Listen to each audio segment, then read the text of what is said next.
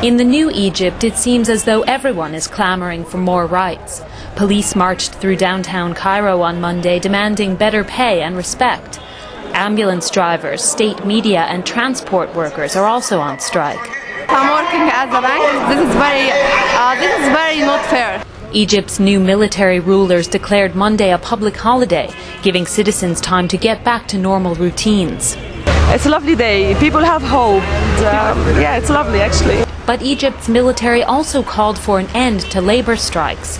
Many worry such demonstrators could further damage the economy. Others say this is democracy now.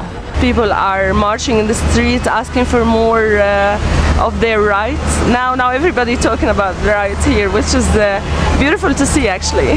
Egyptian police, who largely vanished during anti government protests, have reappeared to direct traffic. Congestion has returned to Tahrir Square, where an 18 day demonstration led to President Hosni Mubarak stepping down. But military vehicles still line its streets.